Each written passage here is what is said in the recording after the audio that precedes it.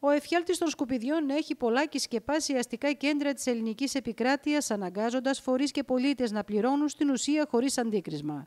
Μια εναλλακτική λύση ώστε να μειωθεί ο όγκος των σκουπιδιών αλλά και να υπάρξει οικονομικό όφελος είναι οι κομποστοποιητές, που στην Καλαμάτα το δίκτυο Rethink σε συνεργασία με το Δήμο τοποθετεί σε διάφορα σημεία της πόλης. Είμαι υπεύθυνη για τον κομποστοποιητή που έχει κατασταθεί στη γειτονιά μου, ε, που βρίσκεται Βασιλίσης Όλγας Κεφαρό.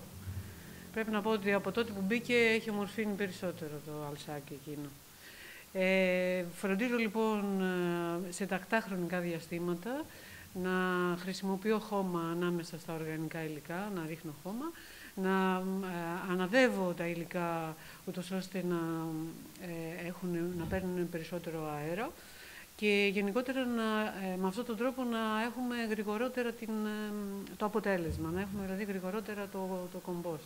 Αυτό που επιδιώκουμε είναι να γίνει ένα εργαλείο αστικού εξοπλισμού κομποστοποιητή. Δηλαδή, όπως είναι τα μπαγκάκια, έτσι να είναι και ο κομποστοποιητή, όσο και να ακούγεται αυτό έτσι λίγο χαζό.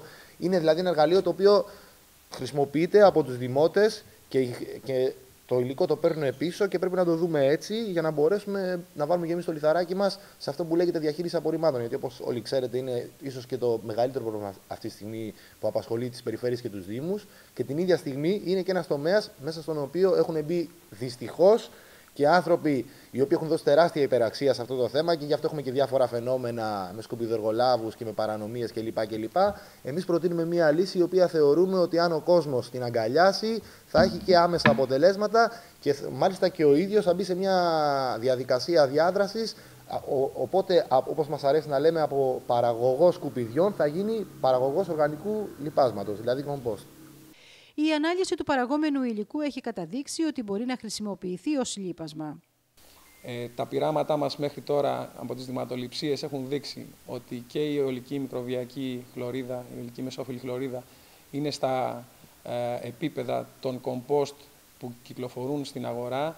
Τα ε, επίπεδα των παθογόνων είναι πολύ χαμηλότερα από τα ανώτερα επιτρεπτά όρια, αλλά και οι δείκτες βλαστικότητας μας ε, δίνουν πολύ θετικά αποτελέσματα, δηλαδή τα κομπόστ που έχουμε πάρει από όλα ε, τα κυβότια κομποστοποίησης μπορούν να χρησιμοποιηθούν άνετα σε γλαστρικά φυτά με πολύ καλά αποτελέσματα, ε, σε κυπευτικά φυτά, στις, ε, στα παρτέρια, σε ζαρτινιέρες, στους κήπους μας για την καλλιέργεια ε, βρώσιμων φυτών, χωρίς να έχουμε κανένα απολύτως πρόβλημα και μάλιστα ε, μας δίνουν τα θρεπτικά τους στοιχεία, μπορούμε δηλαδή να τα χρησιμοποιήσουμε σαν οργανικό λίπασμα.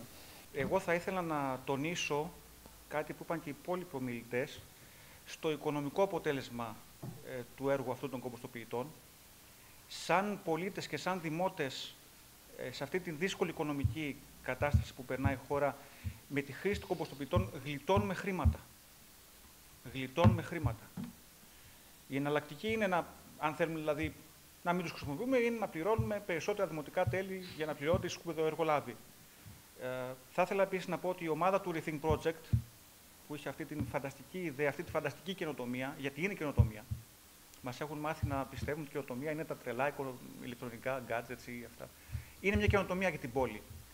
Η ομάδα λοιπόν του Rethink Project έχει κι άλλες καινοτομίες στο συλλογικό μυαλό της να πραγματοποιήσει και σύντομα θα σας ανακοινώσει.